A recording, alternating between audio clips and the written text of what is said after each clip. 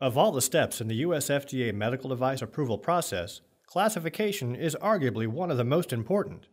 Understanding how the US FDA classifies devices and the tools available to you is critical for identifying the proper regulatory pathway in the United States. Interested in learning more about the US FDA classification process? We'll show you.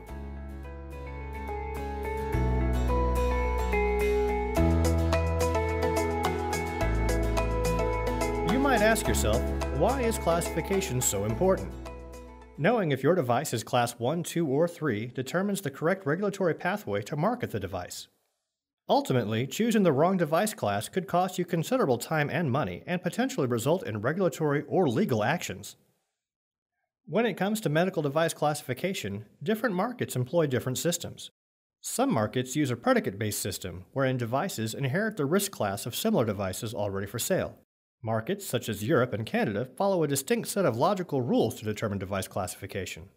Still, other markets have extensive categorical lists of predefined device types. The US FDA classification system uses elements of all these methods, but is quite distinct. The US FDA has three medical device classes Class 1, 2, and 3. The higher the class, the more stringent the regulations. Device classification determines the regulatory routes the manufacturer must follow to obtain clearance or approval to distribute the device in the US. To determine device classification, most companies use FDA's online classification database, before we get into examining the database, let's define a few very important terms the FDA uses in classifying devices product codes and regulation numbers. Product codes are always three letters and are used to distinguish every device type from one another. There are over 6,000 product codes representing every device authorized to be sold in the U.S. The regulation number is always seven digits and refers to a specific section of Title 21 in the U.S. Code of Federal Regulations, which describes groups of devices. There are 1900 regulation numbers. Here's an example. Gloves fall under two prevailing regulation numbers 878.4460 or 880.6250. Easy, right? Not so fast. There are close to 20 unique product codes for gloves. You'd better choose the right one to avoid problems down the line.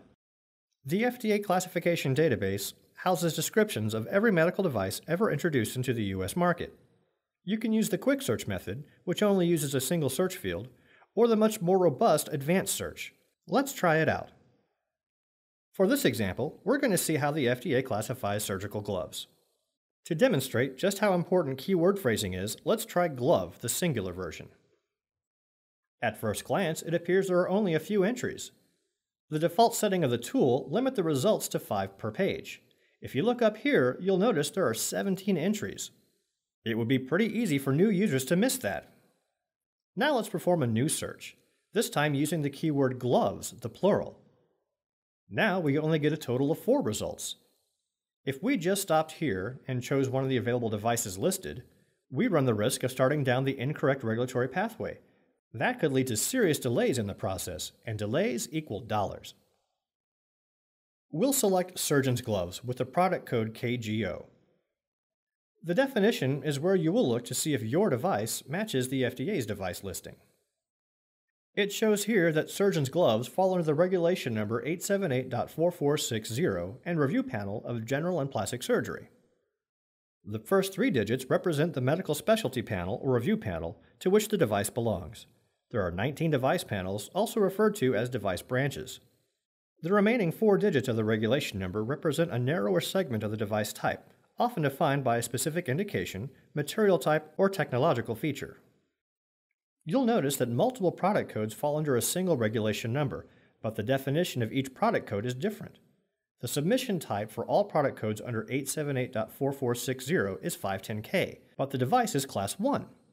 Typically, Class 1 devices don't involve a 510K submission, but when you consider surgeon's gloves' intended use, the heightened risk justifies this requirement.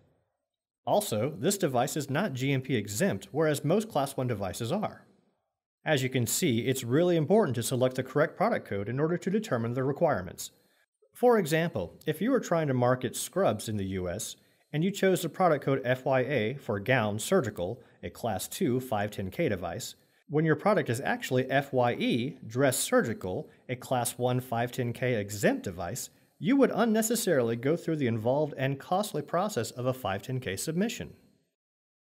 But what happens if you have an innovative product and can't find the product code that matches it? You have two options. You can first submit a 513G or go through the de novo process.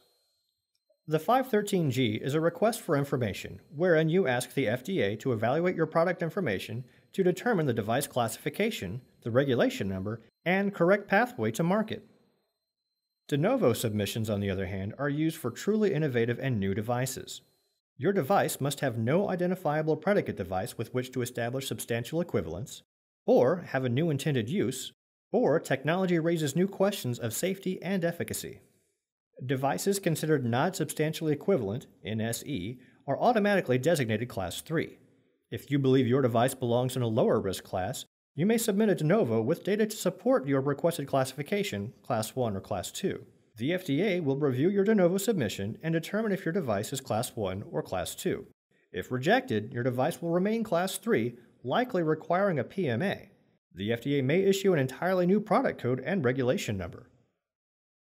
As you can see, device classification in the US can be a tricky road to navigate without knowledge of the tools and processes.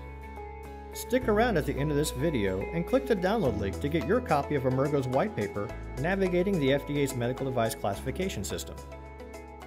We thank you for watching this video demonstration and hope you found it helpful and informative.